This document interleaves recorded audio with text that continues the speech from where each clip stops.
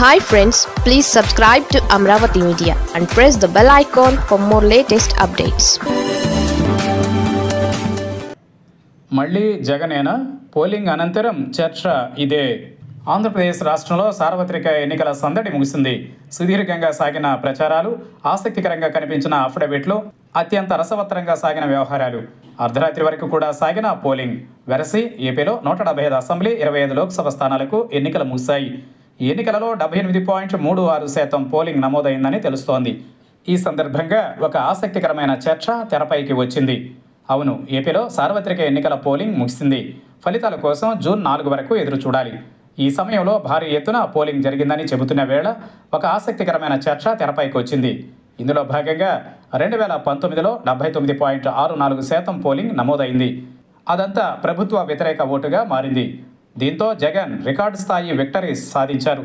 ఇదే క్రమంలో ఇప్పుడు కూడా పోలింగ్ పెద్ద ఎత్తునే జరిగింది కాబట్టి ఇదంతా ప్రభుత్వానికి వ్యతిరేకంగానే నమోదయ్యి ఉందనే కామెంట్లు పలువురు టీడీపీ నేతల నుంచి వినిపిస్తుండడం గమనార్హం. మరోపక్క రెండు వేల ఇరవై నాలుగు ఎన్నికలకు సంబంధించి నమోదైన భారీ పోలింగ్ మా ప్రభుత్వంపై సానుకూలతని వైసీపీ చెబుతోంది.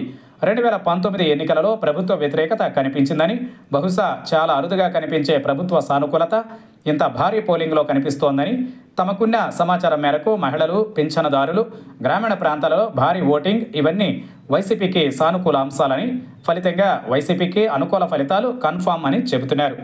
వాస్తవానికి ఎస్సీ ఎస్టీ క్రిస్టియన్ ముస్లిం ఓటు బ్యాంక్ భారీ ఎత్తున వైసీపీకి పడిందని చెబుతున్నారు. ఇక బీసీ ఓట్లను టీడీపీ వైసీపీకి కాస్త అటు ఇటుగా పడగా కాపు సామాజిక వర్గంలోని మహిళల ఓట్లు కొన్ని వైసీపీకి పడ్డాయనే చర్చ ఇప్పుడు ఆసక్తికరంగా మారింది. ఈ నేపథ్యంలో నూట పది నుంచి నూట ఇరవై ఐదు సీట్లలో గెలుపు కన్ఫర్మ్ అని వైసీపీ ధీమా వ్యక్తం చేస్తోందని తెలుస్తోంది.